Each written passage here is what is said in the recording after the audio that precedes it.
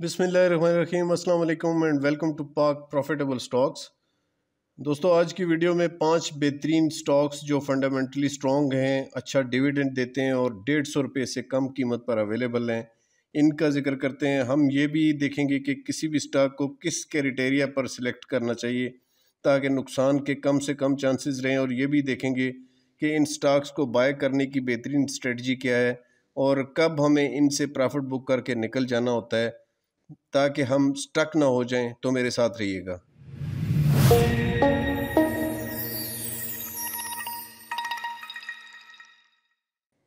दोस्तों P S X की website के पर आना है और मार्केट के टैब से हम स्टॉक स्क्रीनर को क्लिक करेंगे। तो इस तरह का डाटा आपके सामने आता है। अब हम अपनी मर्ज़ी के फ़िल्टर लगाएँगे कि किस तरह के स्टॉक्स हमें चाहिए। क्योंकि आप देख रहे हैं कि बहुत से स्टॉक सामने आ चुके हैं लेकिन हमने वो सात बेहतरीन स्टॉक्स निकालने हैं जो हमारे मैार पर पूरे उतरते हैं। हमारा मैार क्या हो, होना चाहिए दोस्तों?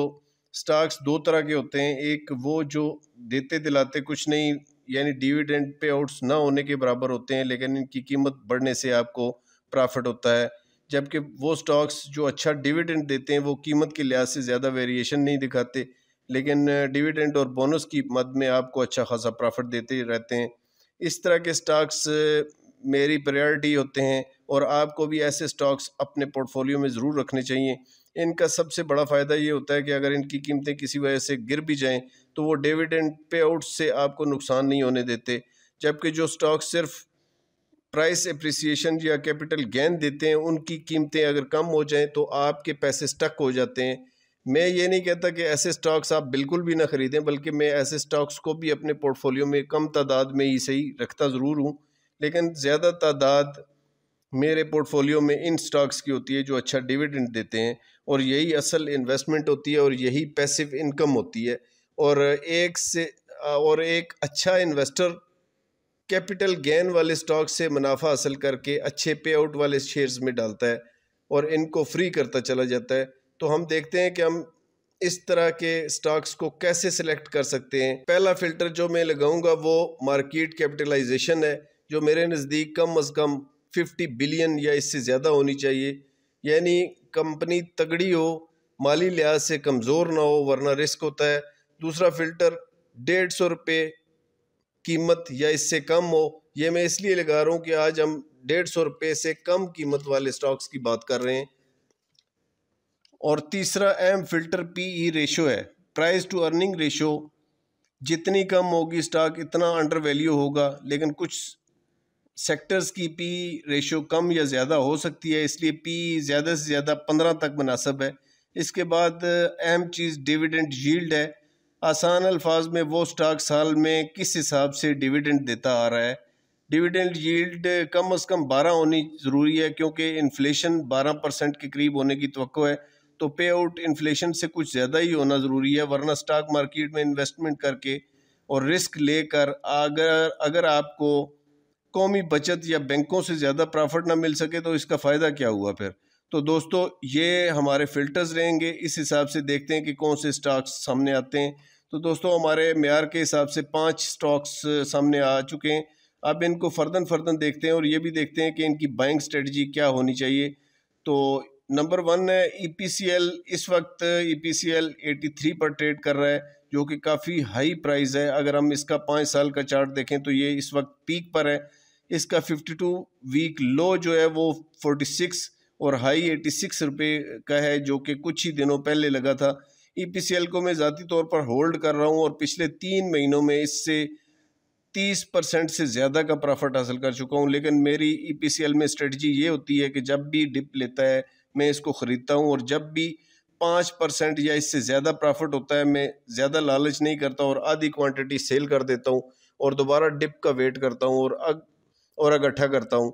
और हमारी मार्केट के हिसाब से यही स्ट्रेटजी बनती भी है। स्टॉक चाहे कितना अच्छा हो, कम वक्त में अगर आपको पाँच परसेंट या इससे ज़्यादा प्रॉफिट मिल रहा है तो कुछ ऑफ़ लोड करना स्टक होने से बेहतर होता है।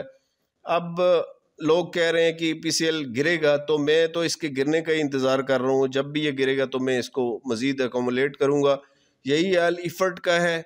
इफर्ट भी इस वक्त पीक पर है। बहुत से दूसरे दोस्त, लोगों की तरह मैं भी इसकी कुछ क्वांटिटी होल्ड कर रहा हूँ और डिप लगने की सूरत में इसको मज़ीद ख़रीदूँगा।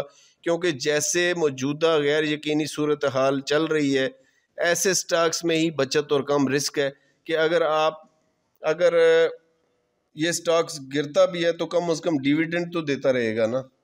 तो अगला स्टॉक है यूबीएल का। मैं बैंक्स या इंश्योरेंस के किसी स्टॉक में काम नहीं करता, लेकिन अगर आप देखें तो आप एक इन्वेस्टमेंट करते हैं, चाहे वो कोई भी स्टॉक हो, और अगर वो बढ़ता है तो फ़ायदा, और अगर गिरता है तो आपका नुकसान होता है। इस लिहाज से ये हलाल नज़र आता है, लेकिन किसी किस्म का शक ना हो और हमारी अर्निंग पर इतमान हो। इसलिए मैं किसी किस्म के शक व शुबा वाले स्टॉक में काम ही नहीं करता। लेकिन अगर आप UBL में काम करना चाहें तो एक मुफीद इन्वेस्टमेंट बन सकती है, क्योंकि UBL तकरीबन हर क्वार्टर में डिविडेंड देता है, जो कि चार रुपये के करीब रहता है। इसकी बेस्ट बाइंग तो एक सौ दस रुपये के करीब है, और इस वक्त ये एक सौ बयालीस के करीब ट्रेड कर रहा है, लेकिन मैं इसमें आठ से दस रुपये अभी मज़ीद ऐड होते हुए देख रहा हूँ। और इसके बाद जो स्टॉक है वो है हब को दोस्तों। हबको पावर वो शेयर है जो ए के डी से लेकर मीज़ान बैंक और तमाम म्यूचुअल फंड्स का पसंदीदा शेयर है। अच्छा पे आउट देता है और प्राइस वेरिएशन भी मुनासब है। यानी ये सिक्सटी फोर सिक्सटी थ्री से लेके एटी सिक्स एटी और नाइन्टी तक भी जाता है तो ये अच्छी खासी वेरिएशन होती है। इसलिए जून क्लोजिंग के लिहाज से आपको एक बेहतरीन इंतखब हो सकता है। फंडामेंटली स्ट्रॉन्ग है और लॉन्ग टर्म रखने वाला स्क्रिप है। और पांचवा स्क्रिप जो है वो एफ़ एफ़ सी है फौजी फर्टिलाइज़र कंपनी जो कि लॉन्ग टर्म इन्वेस्टमेंट के लिए बेहतरीन स्टॉक है, लेकिन ये भी अब बाइंग रेंज से ऊपर जा चुका है। अगर ये इस क्वार्टर में डिप लेता है तो सौ रुपये के करीब इसकी बेस्ट बाइंग रेंज होगी। F F C Fauji group की फर्टिलाइज़र कंपनी और फाइनेंशियली वेरी साउंड है। दोस्तों, ये वो शेयर हैं जो आपको कम रिस्क में ज़्यादा मुनाफा दे सकते हैं।